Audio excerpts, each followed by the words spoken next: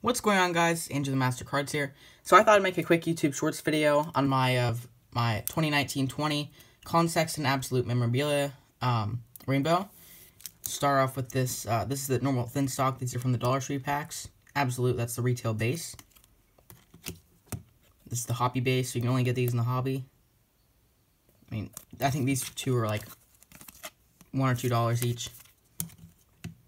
Have the red to 199 Team colors. Blue to 99.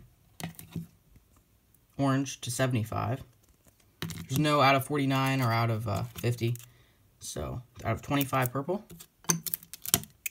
Out of gold 10. So, out of 10 gold. this is like the first one I got. And the out of 5 green. Thank you guys for watching. I'll see you guys in the next one. Bye, guys.